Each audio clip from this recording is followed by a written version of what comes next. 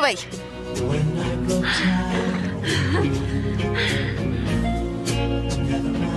Я видела, как ты подглядывал за мной тогда. Я не подглядывал. Ладно, Увидимся завтра. хорошо.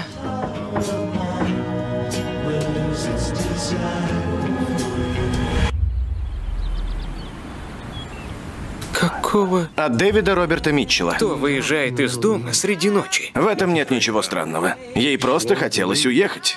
Почему ты не можешь это понять? Я не понимаю, почему она не сказала мне. Может, ты ей не понравился. Может, она знает, что ты бедный и не платишь за аренду. Режиссеру фильма «Оно следует за тобой». Я нашел в доме что-то вроде кода или тайного послания.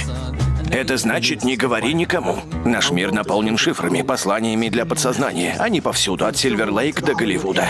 Возможно, все это связано с Сарой. Я знаю эту девушку. В музыке скрыто сообщение. Реально думаешь, что найдешь скрытое сообщение в попсовой песне? Раз, два, три. Мне кажется, что я уже близко. Милый, как ты? Мам, я в норме, по большому счету. Почему мы полагаем, что все, что мы знаем, является таковым?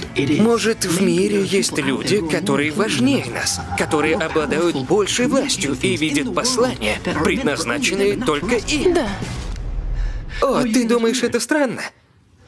немного. Этим летом. Добро пожаловать в чистилище. Я рад быть здесь. Ты живешь словно на ярмарке и надеешься выиграть приз. Но что же ты выиграешь?